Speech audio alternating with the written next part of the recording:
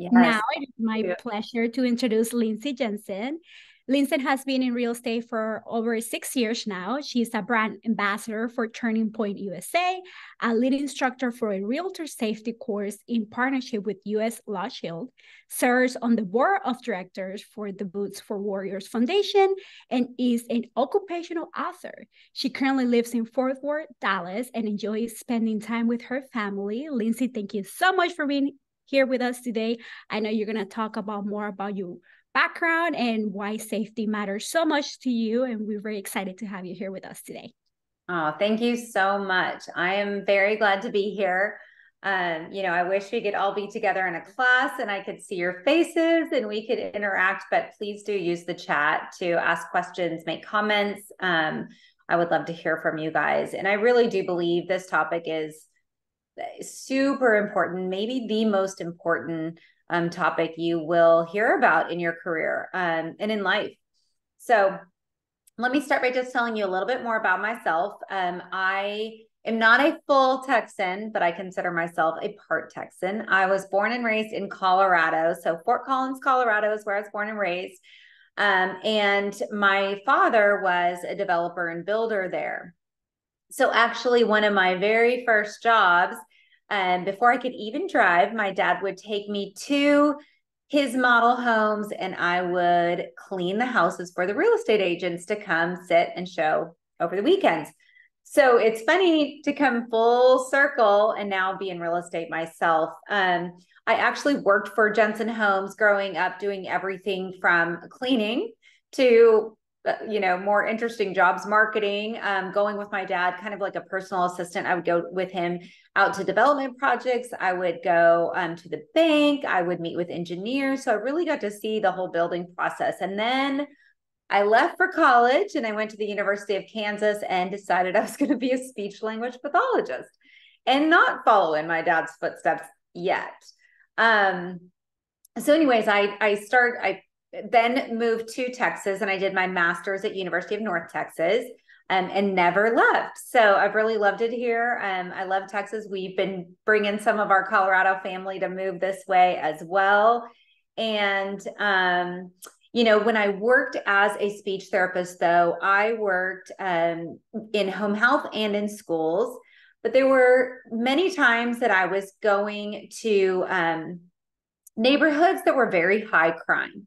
And um, it was then that I really started to think about okay, what would happen if I'm put into a situation where I have to protect myself? Like, what, how am I going to be safe? I'm a single woman going out here. I was, you know, fresh out of college. Um, you know, what am I going to do? And do I, am I prepared? And so that's kind of what started it.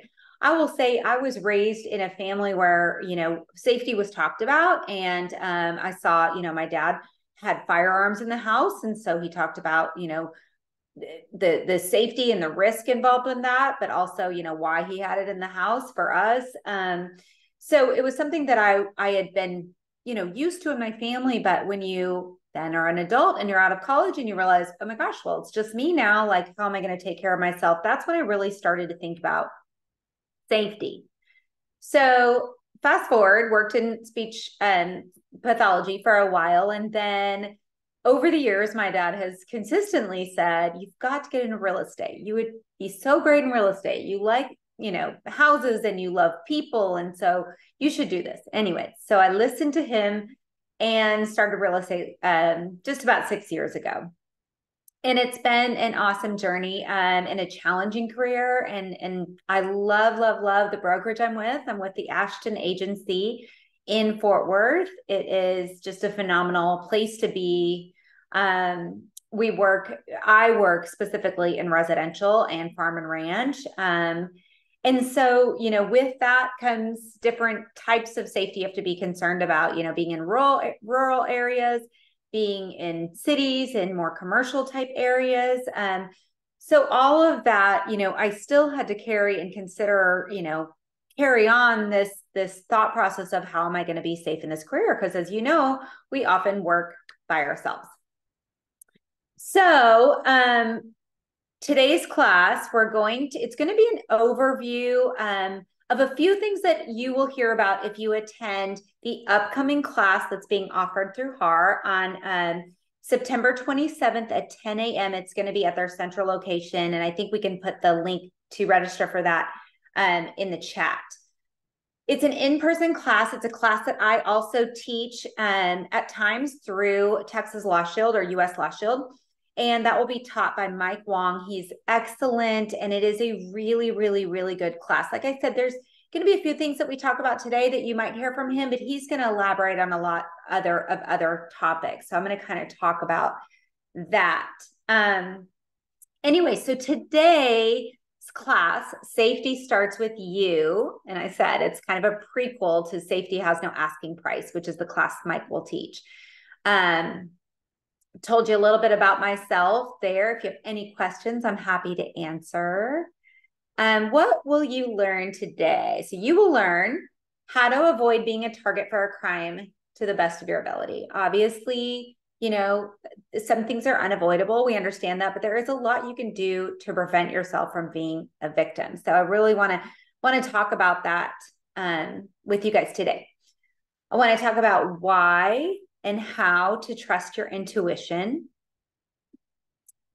how to improve your awareness,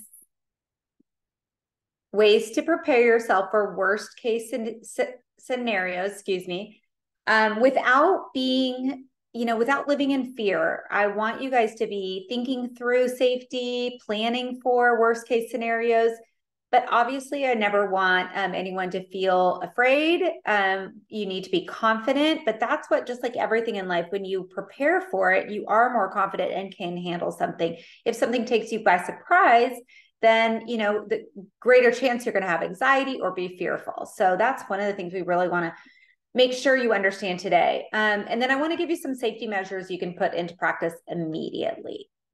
So those are our objectives today I am going to start with a little safety stats pop quiz. And I wish we were all in person for this, but um, let me start by asking I don't know if anybody can throw this in the chat, but I'm wondering if anybody out there watches Dateline or watches true crime. So I am a huge true crime junkie, but I always say, as much as I love watching Dateline, I never ever want to be featured on it and I don't want any of you to be featured on it. Um, I want us to take safety very seriously, um, learn from other situations.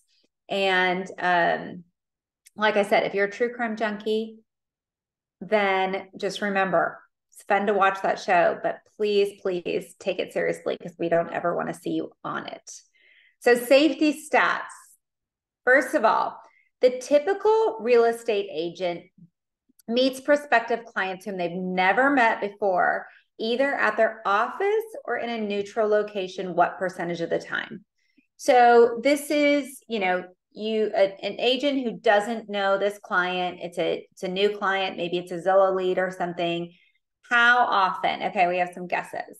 90%, 50, ooh, 75. Okay. Ready for the answer? 65% of the time. So that's still, I mean, that's 45% of people that will put themselves in a really dangerous situation going to a location with someone they have not met before.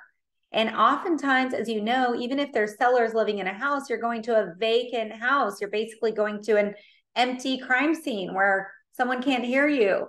Um, so that's a number that I hope will improve. And I hope all of you aren't going to be, you know, part of that 45, that you're part of the 65, and let's increase that percentage. Okay, next one. Oh, and it's listed as number one, but that's number two. Um, what percent of men and what percent of women carry a self defense weapon or tool? What do you guys think? Tell me, men, women, what do you think? Ooh, 40 10. Okay. Men 90. Okay, 40% men, 15% women, 55, 35, 25 and 5, 30 and 40. Okay, so let's see what the answer is. 46% of men and 52% of women. So actually a few more women, um, according to, this comes from the um, NAR safety report in 2021. According to this, 52% of women carry some sort of self-defense tool. Now, remember when we talk about self-defense tools, that could be pepper spray. That was like one of the main things that they said realtors said they carried. Um, so it's not always a firearm. Um, then blank percent of realtors have personal safety protocols in place that they follow with every client. 30%. Okay, 50%, 74, 25, 60%. You guys are awesome. Thanks for using this chat so it doesn't feel like I'm just sitting here talking to myself. 75. Okay, so the answer 72%. You guys were good. There's a couple of you that got almost right on the dot. Now, the crazy thing is, is I have a hard time believing that stat. I know it's what was reported, but on the in the many classes that I've taught over the past, I guess it's been two and a half, three years that I've been teaching um, in association with US Law Shield. And I always ask my classes, and most of the time I'm in person, but I always ask my classes, you know, how many people have safety protocols set up?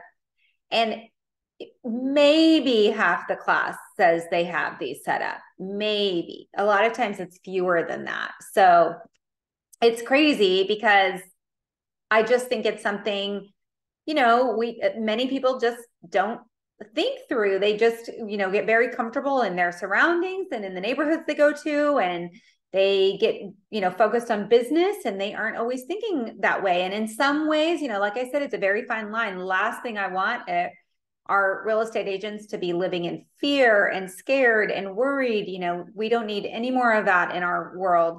However you know there's a there there should be some awareness and there should be some thinking through this because your safety is important. It's important obviously for yourself but to your family to your loved ones to your business. Um so it's it's something i you know i hope that number's correct but if it's not i hope all of you will do this um, and then among those who participate in a realtor safety course, what percent said they feel more prepared for unknown situations after taking the course? Oh, it popped up. Sorry. Good job, you guys. You're all the smartest. well, that was my fault. 39%. And I was actually like, okay, we need to get that number a lot higher um, I want all of you that are listening today, every single one of you to feel more prepared for, you know, in some form or fashion. So I really hope that that number increases. And I hope that you learned something today that you can use. Um, and I highly encourage you, if you can attend that in person class, it's a really, really interesting, fun class. I actually, I have had people as I've taught this class say, this is the best CE course I've ever had. And I don't think it's necessarily because I'm teaching it. I think it's because the content is so good and it's really got some great like safety tips. And he goes more into different self defense tools and options and weapons and more into what happens um, if you have to use self defense. So it's very, very interesting. I highly recommend. Okay. All of you are super smart 39%. All right. Let's see here. Okay. So the first thing I want to talk about, and something that is so, so important, um, is trusting your gut. Okay, so we've all heard the term trust your gut. And, but what does it really mean? And of course, you know, people, you know, attribute this to a lot of different things. Some people attribute it to a higher power, to God, to the Holy Spirit. Some people attribute it to, um, just your human body and, and trusting your own self and trusting your own intuition. And we hear this all the time. Um, but you know, do we ignore it or do we listen to it? And are we trained to really think about, wait, is that my is that my intuition telling me something? Or do you ignore it because we're busy and you know, we just get thinking about other things. Um, the human body is fascinating and it is able to give us warning signals for danger. And you know, there's like if you look into this, I did some reading on this prior to um, teaching today, and it's like there's so many different research studies out there of, of people trying to really pinpoint like why the human body does this. But we know it does it for us it does it for animals um, but our body senses danger. And that's such a gift. I mean whether you believe it's from god or just science it is such a gift and it's something we really need to start listening to and um, honing in on. And you know those those different things that that tell us something's wrong. It could be maybe just a you know could be a slight uneasy feeling just something that just doesn't sit right. You could get maybe more physical symptoms like anxiety sweating nervousness maybe a panic attack maybe a stomach ache you know any other physical symptoms you guys toss in the in the chat that would be something you feel when um when there's danger you know what what does your body tell you um, it's very, very astute and it will tell you if there's danger or if something is not lining up quite right. Um, and over and over, we see people that had a gut feeling um, and either listened to it and avoided danger or didn't and you know ended up in a really you know terrible sometimes tragic life ending situation so listening to your gut, I cannot overstate that out of all the things you hear today, I hope that this is what you take most, most seriously. There is no sale that is ever worth your life. None. So, no price tag, no commission that is ever worth your life. Even if you are wrong, and we're going to talk about that a little bit, but um, you know, as realtors, we are often targeted. And I'm sure you guys can, you know, think why we are. I mean, is there anybody that wants to put some reasons down in the chat? Why do you think real estate agents are targeted above some other careers um, by criminals? What do you guys think? Access to homes? Very good. Very true. Anyone else? I think one of the first, you know, things that I think about is that we're often working alone. You know, we're often by ourselves. We're often in vacant or, you know, if not a vacant house, then or, or building, then, you know, a place where there's no one home at the time. Um, you know, there's a, this assumption that every real estate agent is making big bucks Oh, good one. Yes, they know what we look like ahead of the t- ahead of time. That is so true, especially now with social media and all of the internet presence we have. People know exactly what you look like, um, and they probably know a lot about you if they've done their research. If they're actually targeting you, um, yep, very good. Many many reasons. You're right and you know the other thing is is they they see what i was going to say is they see us as you know people who uh, maybe have really nice things you know which is always funny because i'm like do they think real estate agents like just make all this cash we're carrying around? Like it's such a grind you know? But they do they see us as like people who make good money they see a nice car they see very nice jewelry and sometimes that can be the motivation but a lot of times it's just the ease and just the um, accessibility and the opportunity of us being by ourselves um, being in a vulnerable situation alone with someone that intends to cause harm. Um, so and i wanted to just share this this story. Um you know i think all of us if we think about like times in our life we've had that phenomenon of a gut feeling where you really can't even explain like wasn't that it was something i mean of course there's times when we're in like a true da- dangerous situation that's very evident and we all can see that. But i'm talking about that time where you have an uneasy feeling and it doesn't even necessarily make sense but you're like something is is off. So in 2017 my family lives in colorado some of my family still lives in colorado and i was flying back from denver to texas. So i was at the denver airport and we had some delays because of weather. And so I was sitting at my gate for an extended period of time. I was there a few hours probably.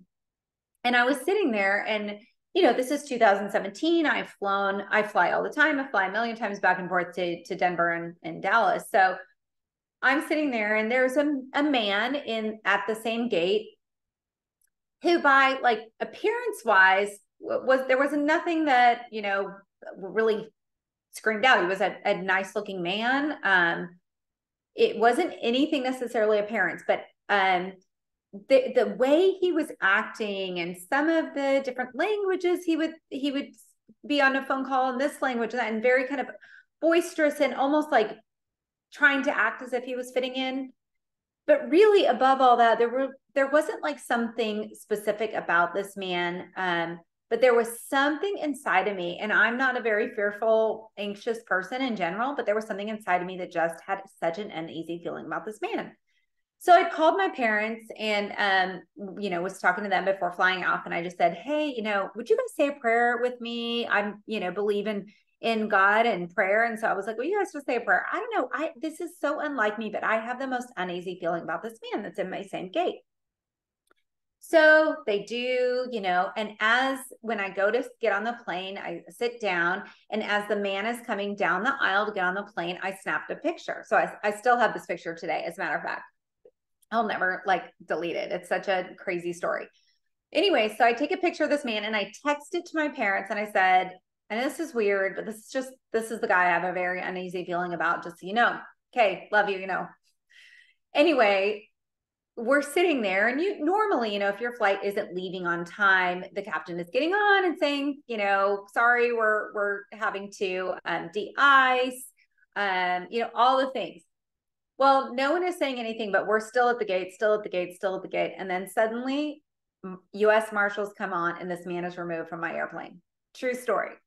Like true story and I remember thinking, oh my goodness, like there is nothing specific about this man that screamed, you know, danger. It besides just this gut feeling and some of the ways he acted that I thought almost were, was trying to draw too much attention to himself. Anyway, just a reminder, you know, your gut, your intuition is oftentimes spot on, even when you feel you know, oh, I don't want it to be wrong or I don't want to offend somebody or, you know, but telling you, that was like one of the craziest stories. And the crazy thing when this guy got pulled off the plane, I mean, you know, they can't just take someone off the plane for without reason.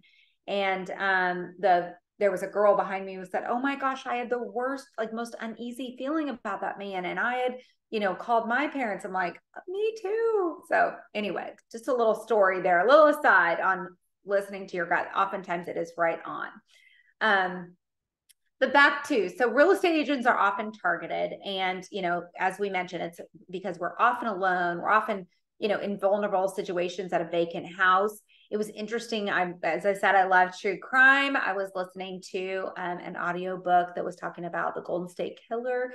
I had no idea, but in his reign of terror in California, he targeted real estate agents at time again because they were alone. So just something to take very seriously.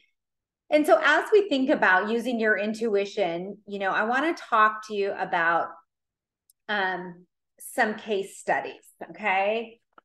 Well, let's see here. We are going to look at four case studies today. Beverly Carter, Soren Arn Olschlegel, Lindsay Buziak, and Thomas and Jackie Hawks and i'm sure you know there are so many others too and there may be others that you guys are aware of as well but we're gonna we're gonna start here. And i want to start by just saying um just expressing my absolute like sympathy for each of the people that we're going to talk about today and for these are victims. There is no one to blame for their crimes besides the perpetrators no one and so you know, today when I'm talking to you guys, by no means do I want to assign any sort of blame to these innocent, you know, people. I want us to just see if there if there's anything we can learn from their story, from their situation. And I know like Beverly Carter um actually her family um, started a foundation and they're one of the ones that really pushed for the you know real estate associations ever everywhere to start taking safety seriously because of her story and so I say this with just, you know, like I said, just such heartfelt sympathy for these these people. This is someone's, you know, wife and mother and grandmother and friend and colleague and um you know, I want you guys to see her picture because I think it's important to see these people and know they are people just like you and me. They, you know, went uh, went about a regular day of work thinking what we always all think which is it'll never happen to me and i'm fine. And it and it happened to them. So it's just something to take very seriously. So i'm going to read something from her foundation page um, that i thought was you know important and i and then we'll kind of talk a little bit about her story and what we can learn from it so um, this quote said, What Beverly didn't know was that her clients, a man and a woman who had identified themselves as a relocating married couple, weren't looking to buy a home. They had a sinister plot in mind to use Beverly to get quick cash, and what started as a great day for her ended tragically. Beverly was kidnapped. Her captors intended to obtain ransom money from her family. When the ransom didn't go as planned, Beverly's kidnappers became her murderers. She was killed in an attempt to cover up their initial crimes, and the perpetrator was quoted saying, I just wanted her gone. He said in a January 2016 trial. And when asked why Beverly, her killer explained that she was a woman that worked alone. She was a rich broker. Beverly's death was a devastating tragedy to her husband, children, grandchildren, extended family, and many friends. And although Beverly had followed many industry standard safety protocols, it wasn't enough. Within the in- industry she loved, Beverly's murder catapulted the national conversation about safety to the forefront of real estate organizations. So, Beverly was a real estate agent in Arkansas, and some of you may be familiar with her story. It's definitely one um, that I think is talked about, you know, quite a bit. And there's been different TV shows on and and all of that. Um, but I thought what was interesting as I've studied this case is that her friends said, and, and her colleagues said that she had a gut feeling that something was a little bit off when she got the initial call by these clients. So when she got the call from the man, apparently she felt like something was off and she asked to speak to his wife and confirmed with the wife, now you're going to be there as well. Yes. So then she, you know, the house they wanted to see was a house that was actually located not too far from her home. Um, it was in an area that she knew very well. They had said they were cash buyers. And so she decided, okay, I'm going to go. So when she when she shows up at the house, um, these two end up kidnapping her and she ends up dying a very very tragic torturous death um, and those details you can you can read more about that um, online but one of the things that i want to just talk about is is what can we learn you know from her story and, and from her situation? So one of the the things that just again like as i was reading this and seeing that she had that feeling that something maybe wasn't quite right you know and, and she had told like she she gave expectations to her husband of what time she was going to be home told the address of where she was going to show a house. She did these things you know letting people know but again like if you go to a vacant home it doesn't matter if someone knows where you are if you cannot protect yourself.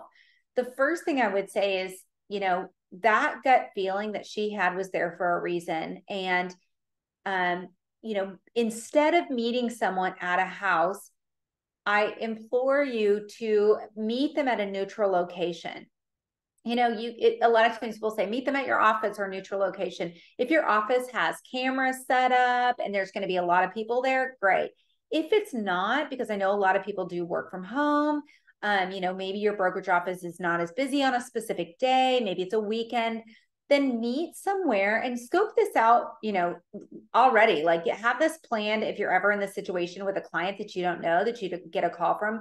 Think about where can you meet them first. Um, you know, even eh, ask someone to go with you if you have to, but meet at like let's say you're going to go to a starbucks know that there's cameras in the area know that um, it's going to be busy at that certain time of day and a lot of times this is going to stop and hinder a criminal right there. So if you say, you know, okay, great, I'm going to need, you know, our brokerage requires, you can always blame the brokerage.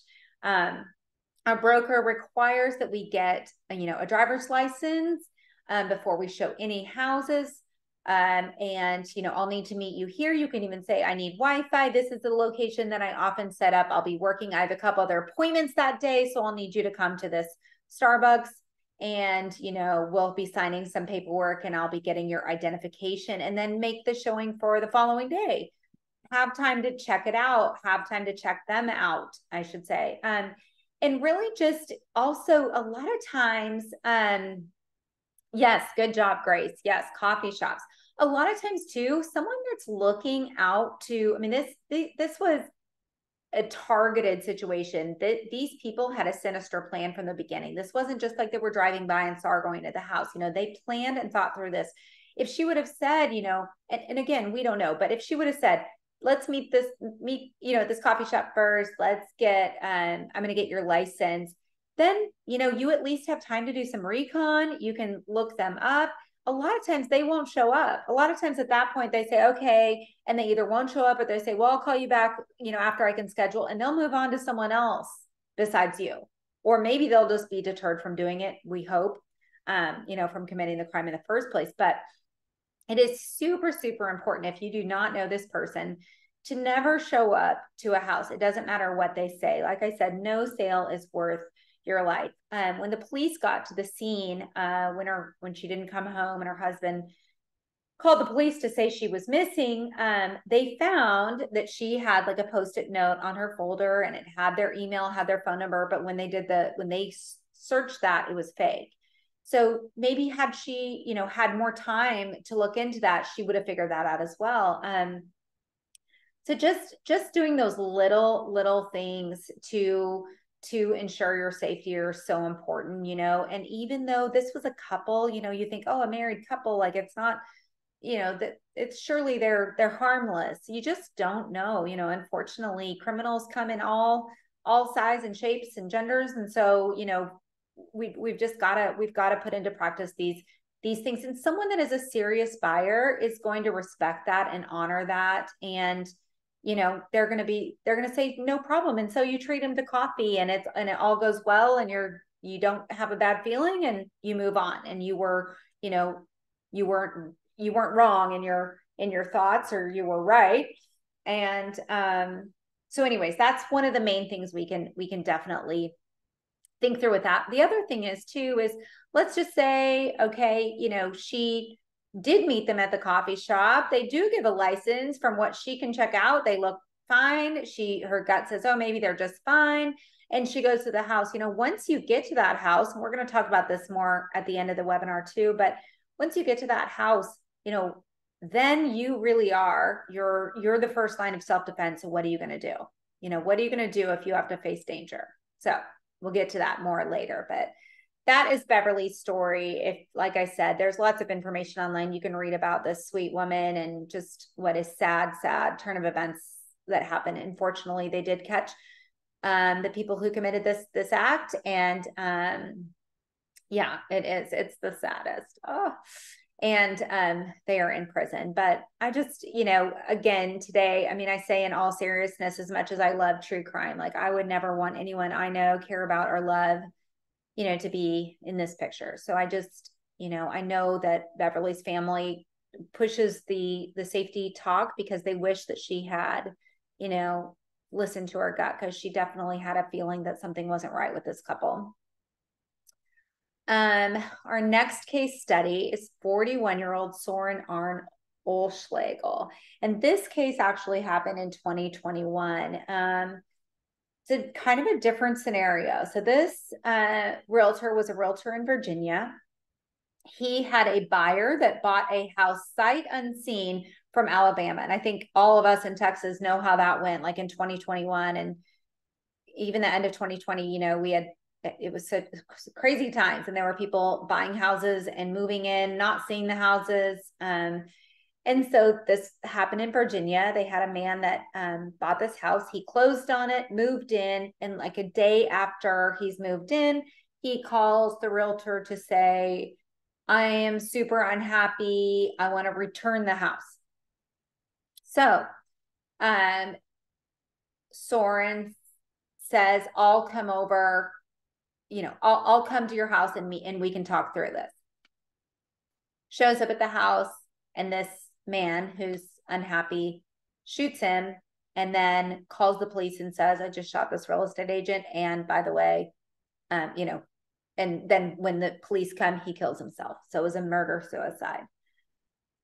You know, we don't have like a ton of of motive on this case that I could find, but what we know is we know that Soren knew this man was extremely upset. Okay, so again, we we have to think through and he was an older man you guys like an like an 84 year old man. So i mean this is an older gentleman that i'm sure nowhere in soren's mind did he think i'm going to go to this house and get shot. But he did know he was upset. So what could we do differently in this situation you know? Um, first of all if someone seems super erratic or unhinged or you know if they're calling and seem dangerous call the police tell the police, hey, I'd like you to do, you know, a check on this person in this house. This is the situation. I'm worried for their safety, for my own safety, for the neighborhood safety. Um, you know, I think I think it's important to like take those kind of calls and things seriously. Um, and then again, like in this situation, you know, I can't come to the house, but can you meet me, you know, at, at a local coffee shop? Um you know can we can we talk via facetime for a little bit so that you know i can see you and let's talk this through. Um anyway you know just any other thoughts on what you guys think in that situation being being kind of a different situation you know what could you do in this situation where someone is extremely upset you know without going to the house and putting yourself in in what can be a dangerous or you know in this case a life ending situation. Are there any other thoughts on that you want to throw in the chat? Anything? I think, you know, just the, again, the most important is just really, I think we all, especially when we care about our clients and care about, um, you know, our, the people buying our houses, you know, the, the thing we want to do is like help them um, you know, I don't know because he didn't know him and because he wasn't like a past client and he bought this house sight unseen and had come from Alabama to Virginia. You know, I don't know if he had any, I didn't read anything that said he had a feeling this guy wasn't, um, you know, maybe mentally stable. But I do know that he knew what he, that he was, that the buyer was upset when he went to the house. Um, so and sometimes you're right you just don't know. And that's the other thing is you know uh, from everything i read soren went in without any sort of self-defense tool weapon plan. Um again i'm sure just thinking it's an upset buyer i'm going to calm him down. He's just angry you know never thinking he's he's going to pot- potentially face um you know, I didn't read that. Someone asked, did they do a final walkthrough prior to closing? I didn't read about that. I would guess they did, but you know, maybe it was done virtually. I know the guy moved from out of state. Oh, okay. You read that they did. I didn't see that part, but maybe they did. Yeah. And again, even if it's someone that, let's say it's someone you've worked with um, and you've met several times, but they all of a sudden call you and they're really, really, you know, upset maybe just think about this case like okay if you don't know them they're not a client you've worked with before.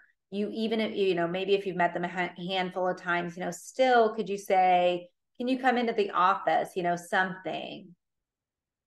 Yeah agree. I'm sure he was just like all of us we just can't imagine that someone would do that. I think most of us try to see you know the best in people and we certainly again we don't want to live our whole lives in fear and thinking everyone is out to kill us but i think it's just super important to think about you know what is the best choice to make for safety.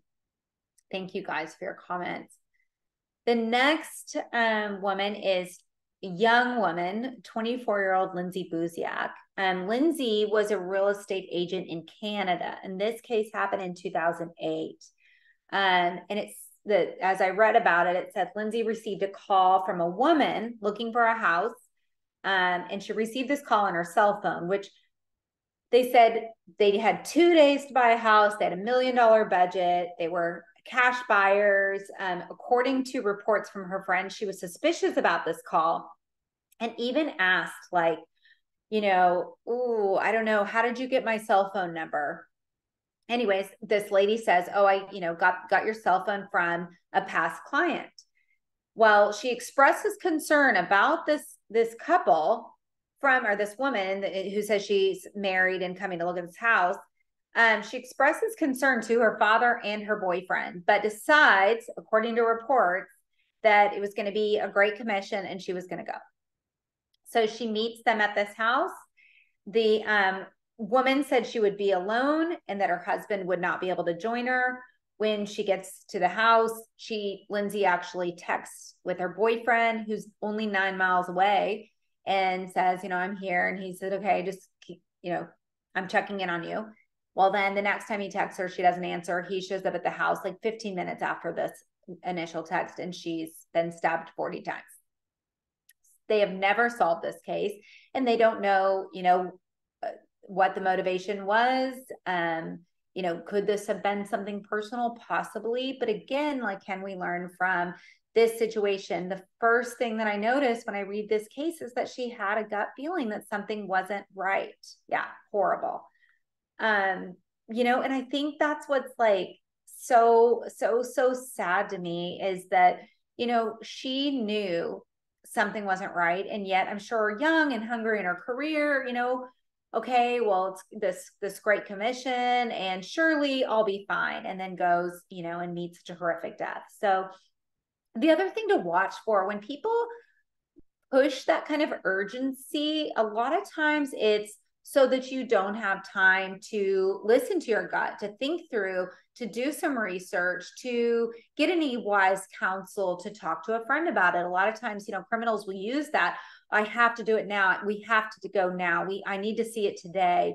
And that's something just to be kind of aware of. Um, I know that can be difficult in certain markets. Like we've been in markets here in Texas where it is like, oh my gosh, houses were flying off the off the market, you know, so fast and people were wanting to see something so quickly. But I'm thinking, you know, I'm talking more in terms of someone you don't know. Still, like it is so, so important, like to to do, you know, the things that we know will help prevent you from from being in this kind of situation. And that's meeting someone in a public place. Um, again, like getting someone else involved. Maybe, you know, this is the only time I'm gonna tell you it's fine to lie, but maybe you lie. Maybe you say, oh, okay, no problem. Actually, um, the sellers have asked my husband to come look at something and make up something to come look at some, you know, a potential paint job on the back fence. And so my husband will be with me. Or, you know, um, I've actually got a contractor, if you're a single woman, I've got a contractor that's meeting me there too. You know, if you're just a buyer's agent or say the sellers have someone coming, I mean, think of anything you can that's going to hinder someone from looking at you as opportunity. So think about those things, but most of all, most of all, most of all, listen to your gut. Um, also, I think about in the story when it says, you know, she asked, How did you get my cell phone? And they said, A past client. I don't know this, but did she ask who the past client was? Maybe they said, maybe they rattled off a name. Maybe they couldn't give her a name. You know, that would be a red flag to me. But if they say, Oh, so and so, you know, did she call that person and say, Do you know this person?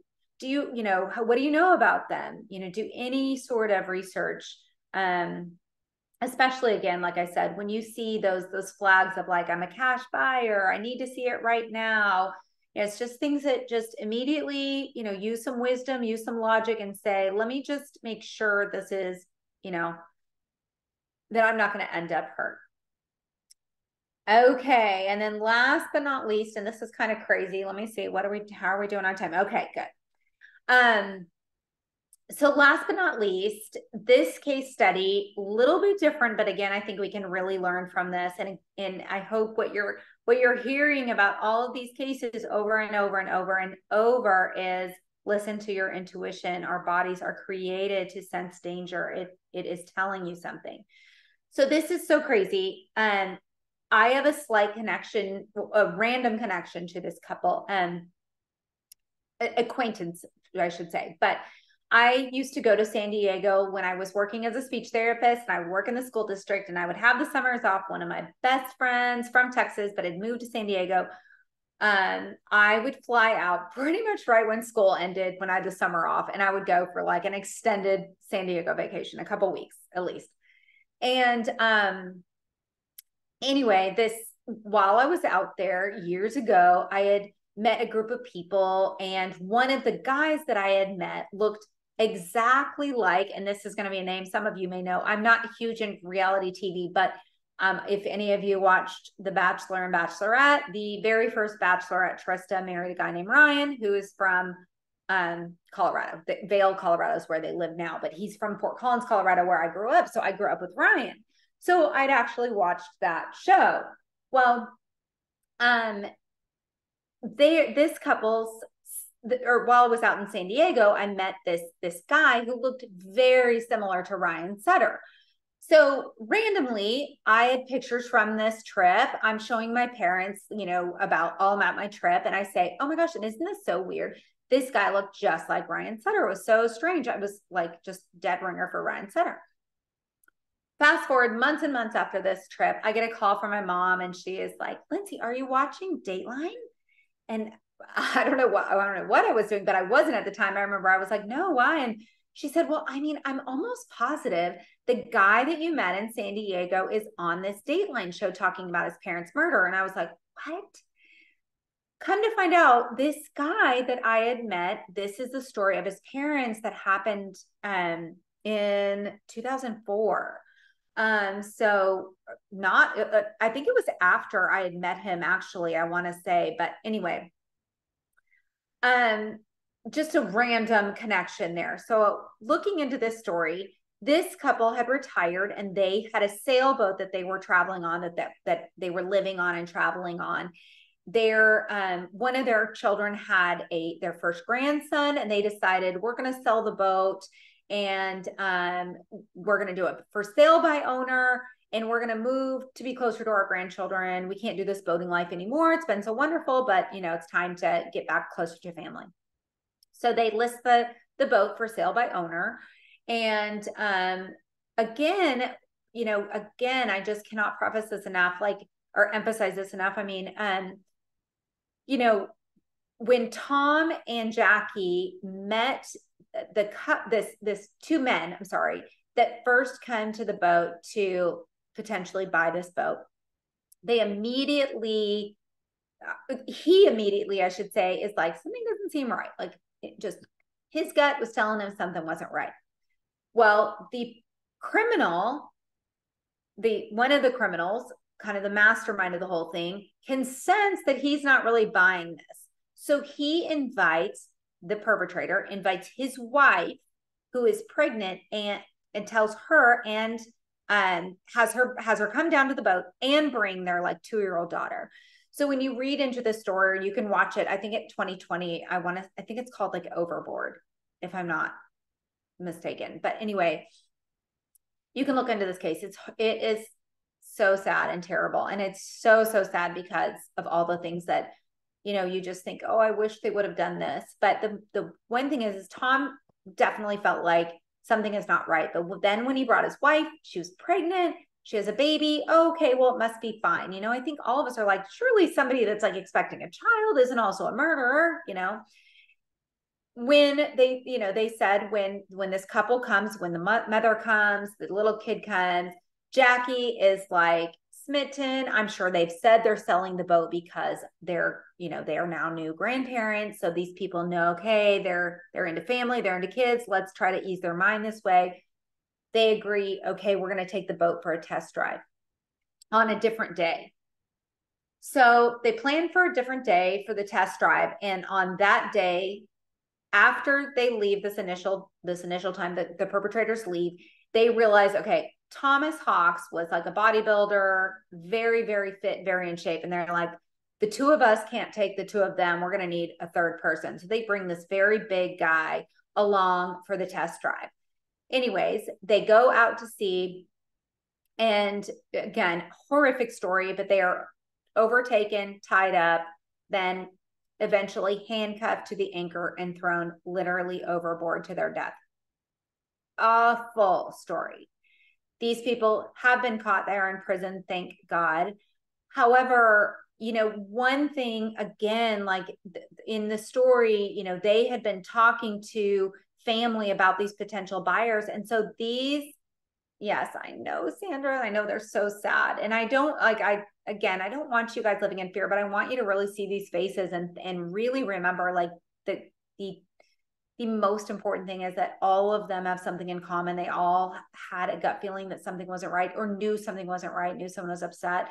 But for Thomas, you know, he really thought something wasn't wrong. So already so sad that he that he went forward with this, you know, decision to take them out to sea but also then on board that he didn't have some sort of self-defense tool that was easily accessed and again it wouldn't have mattered if he had a self-defense tool that was in you know the glove compartment on the boat it had to be on his person because when they overtook him in the captain or in the cabin of the boat you know he had to have access to that. Um so just again something to think about. These people are you know real people whose families are grieving of over this loss and and we all think it won't happen to us and oh it's a pregnant lady and her husband. Surely they're safe. And i just want you to remember like criminals come in all all types all types and so we cannot just look at someone and know whether we will be harmed or not we've got to listen to our intuition and be very very wise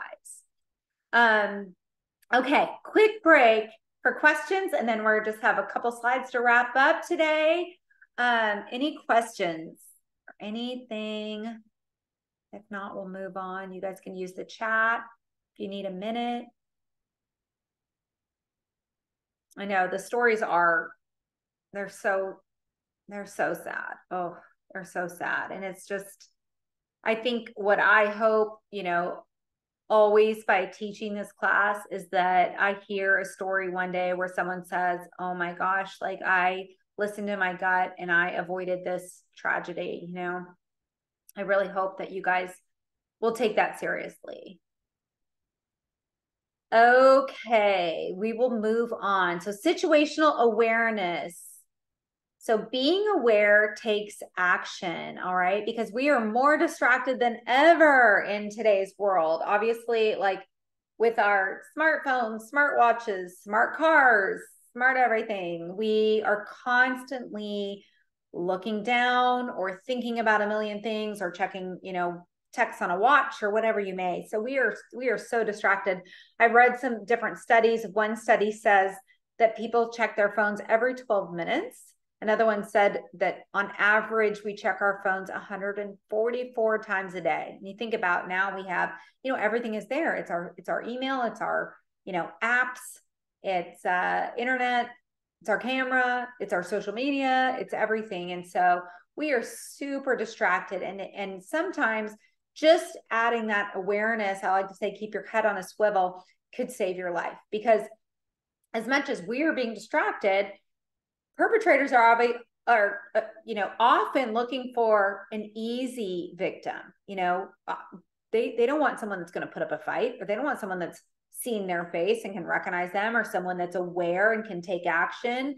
They want someone they can catch by surprise you know they want the most vulnerable. So you know just thinking about before you go into a house you know stopping looking around taking notice is there something strange? Is there you know a person that seems like they you know out of place is there a van that seems out of place you know um just really making sure that you're you're keeping your head on that swivel, looking all around you, being aware. Um, one of the things I know when I worked in in some more high crime neighborhoods, you know, and I talk with friends that are officers, they would say, you know, Lindsay, like, you know, of course, do the things like don't wear a lot of jewelry, um, you know, even like, you know, just just think about those kind of things, how you're dressed, and you know, also look people in the eye like let them know you've seen them like you make eye contact with people. And i think that's you know something we can all do too as we're going into different houses is really looking around. And not only could this save our own life but it could save someone else's life. You know so often like we forget that we might be a key witness in something too. Um i know this is a story that i think you're going to hear a little bit more if you go to the next class but um, the story that happened in McKinney to the real estate agent, I believe Sarah Walker is her name. Um, you know, there was another agent that had met that same man um, that helped to identify who her killer was. Um, and I don't remember if she saw him in an open house or if she'd seen him just in the neighborhood. But a lot of times, like we are out and about in these neighborhoods, like, you know, there are so many things we need to keep our eyes open for. Human trafficking, you know, are we are we noticing children that look like they're out of place? Um, just all of those things. So it's it's always, always good to take time to look around and be aware of your surroundings. Um, practice taking note of some things. So a lot of times too, like being aware takes practice, like anything else in your life. So as you're going, maybe you know, you start to look at, okay, I'm gonna remember two to three things as I drive up to this house. Okay, there's you know a um, yard truck right there um, over there there's a woman with a stroller over there you know and just training your brain to kind of look at what do you see um, it's it's just a good practice to get into um, and being aware allows us to perceive potential danger. It's also like how our body can can read messages. We can just determine whether something looks right or not. Again, it goes back to like incredible um fascinating part of the human body which you know sometimes we just see something and it goes okay that something doesn't feel right which i mean it's just it's incredible that our human body can do that but i definitely um definitely want you guys to start thinking about this and putting this into practice and trying to really, you know, especially before you get out of your car, you know, put your phone down for a minute, look around. What do you see? Who do you see? And, um, you know, make sure you're safe. So, taking your safety seriously and being prepared. So, I want you guys to think about making a plan and putting this into practice before your brain goes into that fight or flight mode. So, again, it's like anything. If we practice CPR and then someone passes out in front of us, we're going to know what to do right then. Okay. If we have practiced something, we understand how to do it. Um, think about a safe word or a code or a phrase. If you need to text someone, you know, have someone in in your, you know, whether it's in your office, in your family, or several people that know, okay, if you text them something like, can you feed my dog but you don't have a dog they're going to know that means you're in trouble you know or whatever and a lot of times it needs to be something that is coded because if you're um very good yes the red folder yes and i've seen that i'm i I was thinking though, I'm like, gosh, I've seen that on in studying for these classes. I've seen that used. I'm like, I hope it's not overused where people now go, okay, we know that's a signal. But honestly, anything you can do is is better than nothing. Um, there's so many safety apps too with smartphones. Also, um, there's you can call. I know on an iPhone, I'm sure Samsung has something like this, Android, but on an iPhone, if you quickly press the um, power button five times, then it calls 911, which is so crazy. I taught a class um, in Snyder, Texas, and this sweet lady who I've become friends with since, um, her husband had had a seizure in the night, and um, she in her panic she well she said she was trying to call 911 and for some reason her phone it wasn't going through and she remembered this class and did the five times on the side and was able to get through to 911 and they were able to get there and get him to the hospital. So i was so thankful for that and hearing that. Um, using the buddy system which is just take someone along with you. Just the other day not kidding at my office one of our agents was talking about how she got a Zillow lead and this guy wanted to see this house here in Weatherford. And I was like are you going by yourself? You've never met this person. She's like, well, I'm like, no, no, no, you're not going by yourself. Like, you don't know this person. You either meet them in person first, or you need to tell your husband and you need to make it clear to them that your husband's coming along, you know, and ask for his ID. And so, anyways, I was like, you know, it's just, I think part of our nature is just to trust people, but we really need to put these things into practice. Also, plan an on the spot excuse. So, start thinking ahead of time. So, let's say, you're you don't see any there are no red flags. You think this you've met them in, in person you met them at starbucks they seem fine but you get to the house and something doesn't seem right. Maybe it's a couple that says they're coming as a couple and now the guy shows up and it's him and two friends and they're big guys. Or it's you know i don't know just something that just doesn't add up or doesn't go in line with what you planned. What do you do then? You know for me i would do anything i can not to get into that house. So am I going to suddenly go, oh my gosh, something is going on with my grandmother. I'm so, so, so sorry. Uh, forgive me, I've got to get my phone. And you call, uh, you know, and you fake a call and then roll down your window and say, I'm so sorry, you know, you get some information, maybe you get their license plate, you have police check them out, whatever you do. But if you get there and already something is wrong, or you go inside that house and something is wrong, you get out of that house as soon as possible, you know, and you you think about what could I say, you know, what would be my excuse? And of course, thank God, since we have phones, you know, we can quickly say someone's calling or someone just texted. Um, so that's that's something that you know you can think about. Um, Okay, that's a good question. One of the things so someone says for changes that prevent us from being targeted, why don't open houses just go away? Because it's number one, in my opinion, for criminals to target agents. Well, I would say one thing, you know, I don't know. I'm sure that's going to be a that that would be definitely a brokerage decision, and seller decision to, you know, and I doubt that they will ever go away completely. But um, one thing I would do, one small change you can do is I never ever market an open house and say i will be um you know at an open house ever on social media or an email. I always say we will be hosting an open house. And they don't need to know that it's we and and you know we means me and my glock it just they just need to know that you know it will stop people from coming that want to target you if they think you're there with more people. And a lot of times our brokerage we do uh, more than one agent at an open house especially for some of the larger houses because someone needs to be kind of managing the door and someone needs to be able to walk around. Um, but you know again it's nothing is ever worth your safety. So if you're at an open house you need to be thinking about you know unlocking or you know kind of depends on the house but do you keep one of the back doors unlocked? Do you know how to get out of the back door? Have you kind of looked around the house to see if someone comes in and i don't feel comfortable? Can i get out the garage um, you know, all of those things take seriously, you know, that, that we need to take seriously and look through um, and think about.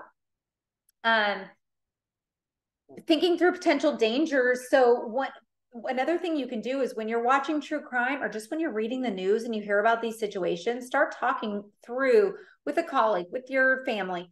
Um, you know, okay, if we were in that situation, what would we do?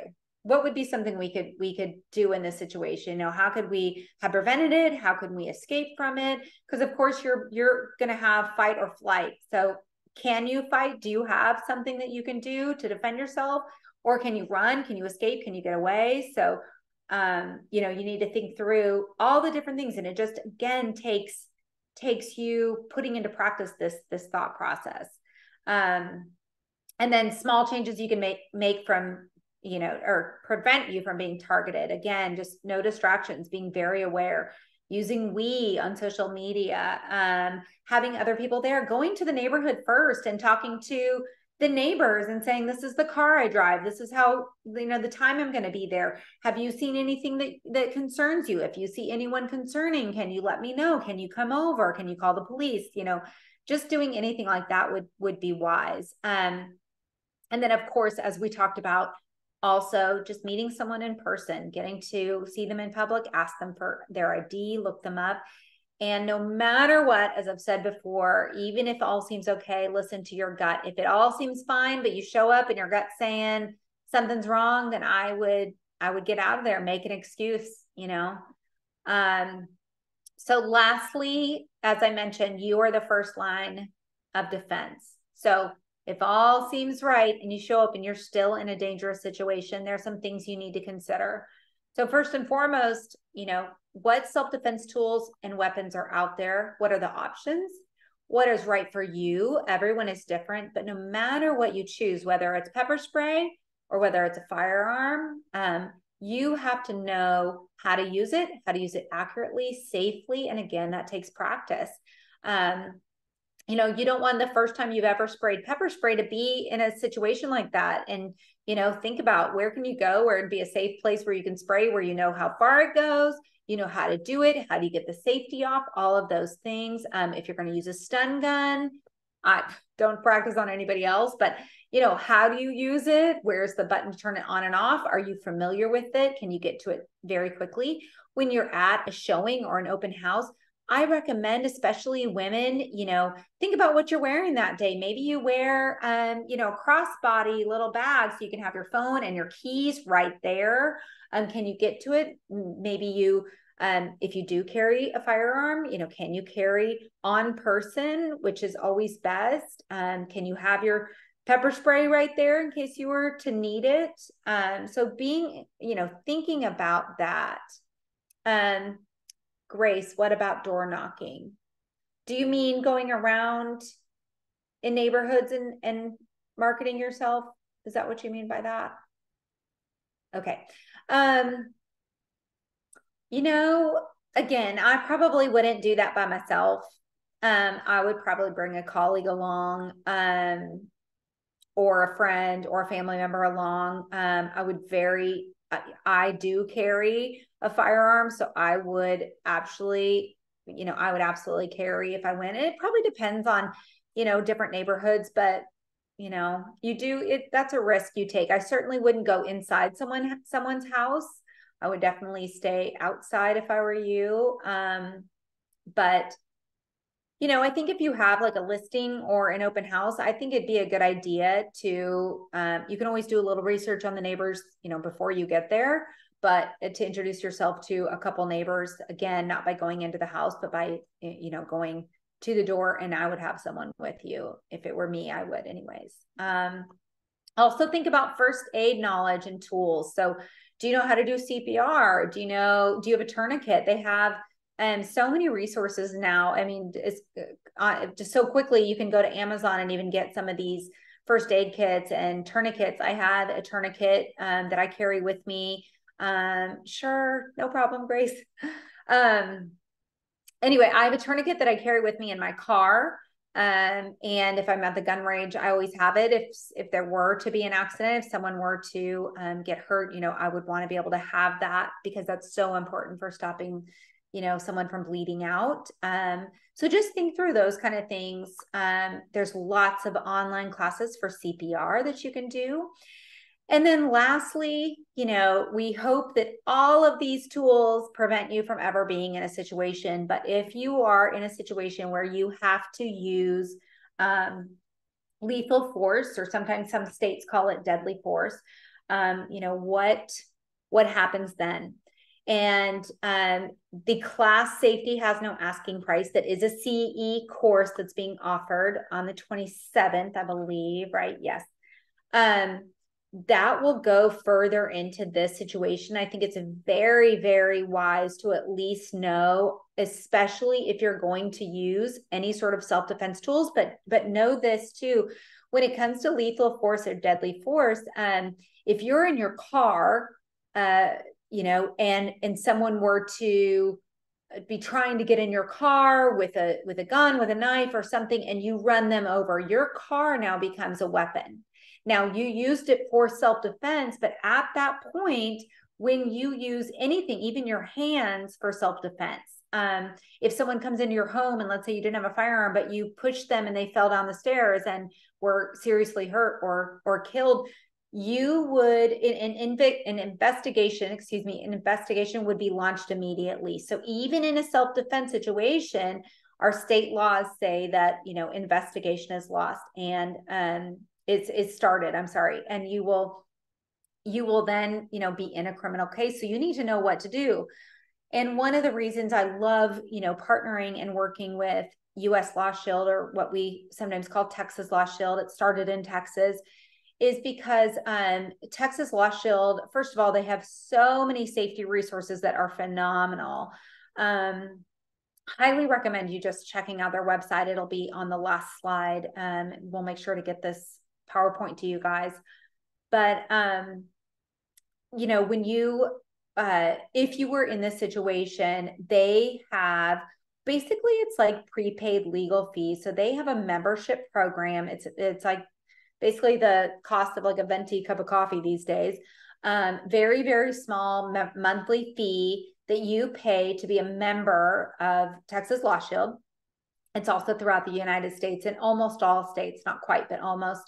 Um, and what would happen is if let's say that happened where you're at a showing and someone attacks you and you use any sort of self-defense tools even your hands um, and that other the even though it's a criminal they are hurt um, Texas Law Shield will cover your legal fees. As you guys can imagine, legal fees are astronomical, even when you're the good guy, even when you're the victim. So, um, one of the things, you know, I love and I hope I never ever have to use it. I hope I never ever ever do, but I know like I was so thankful like my parents um have retired. My dad, as I said, was a builder and retired, and they have a big motor coach that they drive around. And in 2020, there were so many, you know, different times when riots were targeting these kinds of buses. And it, I thought, oh my gosh, like if my parents are in one of those situations, like, oh my gosh, I'm so thankful that they have this.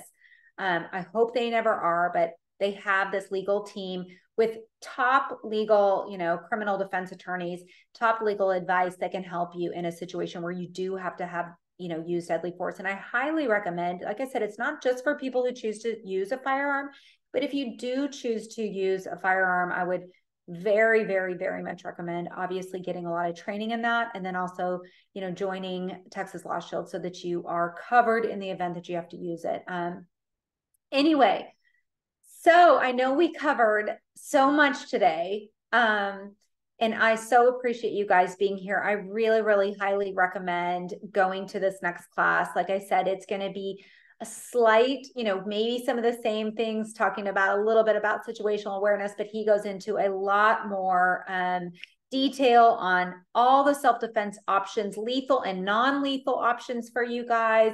Um, he is Houston local, so he'll be able to tell you where you can practice. Um, anyway, so really really highly recommend and it's for credit it's for ce credit so i would just i would say definitely go there and start putting into practice some of these things we talked about today. My information is also on the slides and i'd love to hear from any of you. If you guys have any questions afterwards please feel free to call or email and um, hopefully and hey yeah i love getting to know people down there too. If we ever can send referrals your way or if you have people moving up here you let us know and we'd love to help you guys out or work with you guys too in the real estate facet so thank you so much Thank you so much, Lindsay. Even I was, I'm not a realtor, but I was taking note because you never know what could happen. It, like you said, it can happen to anyone. So better be safe than sorry, correct? Absolutely. Absolutely. Thank you so much for joining us. And I'm going to head with the closing comments. But if you have any last minute questions, go ahead and put it in the chat and we'll make sure to answer that while I'm closing out the webinar. Like Lindsay said, we do have an in person class, two hours of CE credit, all about safety. Um, safety has not asking price. That's with Mike Wan. He's great. It's going to be at HAR Central, 10 a.m. to 12 p.m and I'm going to put the link for, to register for that in the chat. Uh, so next week on Tuesday, um, September 19, we have a webinar uh, talking about your mental health and how it correlates with you selling real estate and all the steps that you can take to make sure that you're giving your 100% in your personal life as well as in your business. I'm going to put both of those links to register for the in-person class and the webinar on Tuesday in the chat. Uh, this webinar was being recorded, so we are going to go ahead and send you that via email, as well as Lindsay information and the uh, PowerPoint presentation. Lindsay, I would like you to have the last word. This was great. Thank you so much for joining us and doing this for us, especially September is safety month. So this was very important for us to hear. Yes, absolutely. Well, I appreciate all of you for joining. It's so fun. And I feel like, again, it's such an important topic. And I just want to encourage you to really just, if you if you've learned anything, to trust your gut, trust your intuition, stay safe. Um, please share any experiences with me. I always love hearing from you guys. I love hearing that you're putting these things into practice. If you have any suggestions or other safety tips that you think would be critical for us to add to these classes. We would love to hear those too. And um, just appreciate your time. And thank you so much. It was so fun to have this this time together and do this. I'm glad. Thank you. I'm sure we will see you again at another HAR program. I hope everyone has an excellent weekend and we'll see everybody soon. Okay. Thank you guys so much. All right. Bye bye.